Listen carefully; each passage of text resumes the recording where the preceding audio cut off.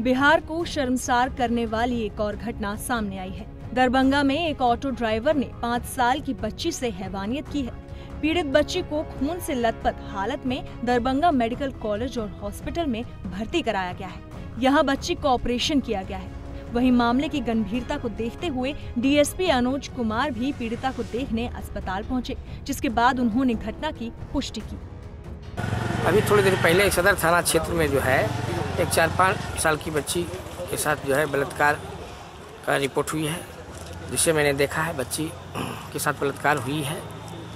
और इस संबंध में जो प्राथमिकी दर्ज कर आगे की कार्रवाई की जाएगी है अभी तो सिर से सिर हम लोग गिरफ़्तार करेंगे और आगे की कार्रवाई करेंगे। और अभी वर्तमान में उसका ट्रीटमेंट चल रहा है और आगे की कार्रवाई की जा रही है। सर किस तरह से घटना को अंजाम दिया गया?